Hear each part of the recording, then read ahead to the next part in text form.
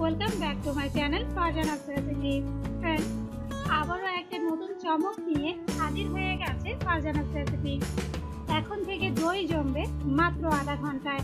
তাও আবার দইয়ের মধ্যে থাকবে না এক ফোঁটা পানীয় আর এই দইয়ের স্বাদটা হবে এক কথায় অসাধারণ লাজোয়াব।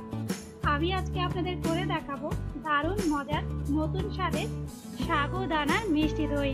তো ফ্রেন্ডস আমার রেসিপিগুলো যদি আপনাদের ভালো লেগে থাকে, তাহলে আমার চ্যানেলটাকে সাবস্ক্রাইব করতে ভুলবেন না।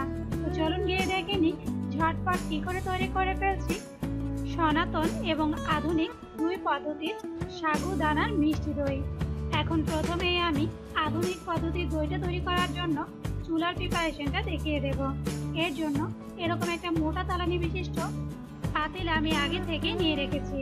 এখন এই পাতিলের তলায় দিয়ে দেব এরকম একটা স্টিলের স্ট্যান্ড এরপরে স্ট্যান্ডের উপরে দিয়ে দেব একটা টাওয়াল। আর ফ্রেন্ডস এই টাওয়ালটা কিন্তু আমি মাঝখান দিয়ে দুইটা ভাজ করে নিয়েছি। এখন এই টাওয়ালের উপরে আমি এরকম একটা প্লেন স্ট্যান্ড বসিয়ে দেব, যেন দইয়ের বাটিগুলো খুব ইজিলি আমরা স্ট্যান্ডের ওপর বসাতে পারি। এখন চার ধার থেকে টাওয়ালটা আবারও আমি মাঝখানে এনে প্যানে ঢাকনা দিয়ে দেব চুলার একেবারেই লো হিটে দশ মিনিটের জন্য। সেই সাথে দইয়ের জন্য বাকি প্রিপারেশনগুলো করে নেব। এখন আমি যেহেতু আজকে সাগুদানার দই তৈরি করব, তাই আগে সাগুদানার প্রিপারেশনটাই করে নেব। এখানে একটা বাটির মধ্যে আমি দিয়ে দেব ওয়ান ফোর কাপ পরিমাণ সাগু। সেই সাথে অ্যাড করে দেব এক কাপ পরিমাণ নর্মাল পানি। এখন এই সাগুটাকে ভালোভাবে নেড়ে চেড়ে পানির মধ্যে ভিজিয়ে রাখব। ঘড়ি ধরে আধা ঘণ্টার জন্য। সেই সাথে দইয়ের জন্য দই বীজের প্রিপারেশনটা করে নেব। এর জন্য এখানে আমি মেজারমেন্ট কাপের এক কাপ পরিমাণ মিষ্টি দই নিয়েছি। আর ফ্রেন্ডস এই মিষ্টি দইটা কিন্তু আমার নিজের ঘরে তৈরি করা।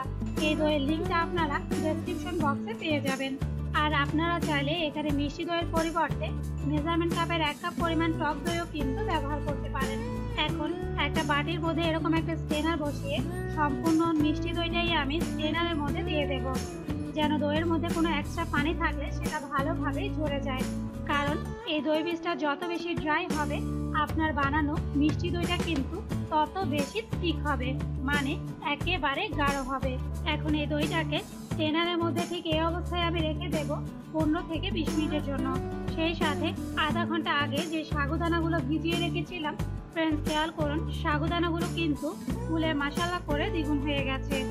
এখন এই সাগুদানাগুলো আমি ভালোভাবে পরিষ্কার করে ধুয়ে সেদ্ধ করে নেব। এর জন্য আবারও চুলার মিডিয়াম হিটে একটা প্যানের মধ্যে দিয়ে দেব মেজারমেন্ট কাপের দেড় কাপ পরিমাণ নর্মাল পানি। সেই সাথে অ্যাড করে দেব আগে থেকে ভিজিয়ে রাখা সাগুদানা। এখন এই দুইটা উপকরণই ভালোভাবে নেড়ে চেড়ে সাগুদানাটা আমি পুরোপুরিভাবে সেদ্ধ করে নেব। যখন দেখবেন সাগুর কালারটা ঠিক এরকম স্বচ্ছ হয়ে এসেছে, তখনই বুঝতে হবে সাগুদানাটা কিন্তু ভালোভাবে সেদ্ধ হয়ে গেছে। এখন এই সেদ্ধ সাগুদানাগুলো আমি একটা স্টেনারের মধ্যে ঢেলে নেব। এরপর ওপর থেকে পর্যাপ্ত পরিমাণ পানি দিয়ে সম্পূর্ণ সাগুদানাটাই খুব ভালোভাবে ধুয়ে নেব, যেন এর মধ্যে কোনো রকম গরম ভাব না থাকে। দেখুন, সম্পূর্ণ সাগুদানাটাই আমি ঠান্ডা পানি দিয়ে ভালোভাবে ধুয়ে নিয়েছি। এখন এই সাগুদানাগুলো আবারও এই অবস্থায় মানে স্টেনারের মধ্যেই আমি রেখে দেব আধা ঘণ্টার জন্য, যেন এর এক্সট্রা পানিটা পুরোপুরিভাবে ঝরে যায়। সেই সাথে দইয়ের জন্য দুধের প্রিপারেশনটা করে নেব। এর জন্য এখানে আবারও আমি চুলার মিডিয়াম হিটে একটা প্যানের মধ্যে দিয়ে দেব এক লিটার পরিমাণ লিকুইড গরু দুধ। এখন এই দুধটাকে চুলার মিডিয়াম হিটে খুব ভালোভাবে জাল করে তিন ভাগের দুই ভাগ করে নেব। মানে এক লিটার দুধ থেকে দুইশো পঞ্চাশ গ্রাম মানে আড়াইশো গ্রামের মতো দুধ জাল করে আমি কমিয়ে নেব। দেখুন, দুধটা কিন্তু খুব ভালোভাবে জাল করে কমিয়ে নেওয়া হয়ে গেছে। এখন এই দুধটাকে আমি একটা সাইডে রেখে দেব হালকা ঠান্ডা হওয়ার জন্য। এবং দইয়ের কালারটা যেন একেবারেই পারফেক্ট আসে, তাই ক্যারামেলটা তৈরি করে নেব। এর জন্য আবারও চুলার মিডিয়াম হিটে একটা প্যানের মধ্যে দিয়ে দেব ওয়ান ফোর কাপ পরিমাণ চিনি। এরপর কয়েক সেকেন্ড অপেক্ষা করব যতক্ষণ না পর্যন্ত চিনিটা পুরোপুরিভাবে গলে যাচ্ছে। যখন দেখবেন চিনির কালারটা চেঞ্জ হতে শুরু করেছে, তখন একটা স্প্যাচুলা দিয়ে হালকাভাবে নেড়ে চেড়ে গোল্ডেন ব্রাউন একটা কালার করে নেব। এরপর এর মধ্যে অ্যাড করে দেব, আগে থেকে যে দুধটা আমি জাল করে রেখেছিলাম, সেখান থেকে ওয়ান ফোর কাপ পরিমাণ লিকুইড গরু দুধ। এখন দুধ আর ক্যারামেলটা খুব ভালোভাবে আবারও নেড়ে চেড়ে মিশিয়ে নেব। আর এরই সাথেই কিন্তু তৈরি হয়ে গেছে বইয়ের জন্য ক্যারামেলের মিশ্রণ। এখন এই মিশ্রণটাও আমি চুলা থেকে নামিয়ে নেব। আগে থেকে যেটা আমি চুলায় জাল করে কমিয়ে রেখেছিলাম, সেটা কিন্তু এখন অনেকটাই ঠান্ডা হয়ে গেছে। আর দুধের টেম্পারেচারটা বোঝার জন্য আপনার হাতের একটা আঙুল দুধের মধ্যে ডিপ করে দেখবেন। যদি দেখেন আঙুলটা জাস্ট আপনি দুধের মধ্যে রাখতে পারছেন, কিন্তু হালকা একটু গরম অনুভূতি হচ্ছে, তখনই বুঝতে হবে দুধের টেম্পারেচারটা কিন্তু একেবারেই পারফেক্ট আছে।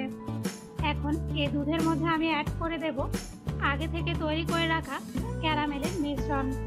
এখন ক্যারামেলটা খুব ভালোভাবে দুধের সাথে মেশানো হয়ে গেলে এর মধ্যে অ্যাড করে দেব আগে থেকে যে সাগুটা আমি ট্রেনারে করে পানি ঝরিয়ে রেখেছিলাম, সেই সেদ্ধ করা সাগু। এরপর সাগুটাও খুব ভালোভাবে দুধের সাথে মিশিয়ে নেব। এরপরে এতে দিয়ে দেব ওয়ান থার্ড কাপ পরিমাণ চিনি। আর দিয়ে দেব আমার নিজের ঘরে তৈরি করা গুঁড়ো দুধ ওয়ান ফোর্থ কাপ আর ফ্রেন্ডস এই গুঁড়ো দুধটা কী করে আমি তৈরি করেছি, সেই ভিডিওর লিঙ্কটা আমি ডেসক্রিপশন বক্সে দিয়ে দেব। এখন চিনি আর গুঁড়ো দুধটাও আমি খুব ভালোভাবে দুধের মিশ্রণের সাথে মিশিয়ে নেব।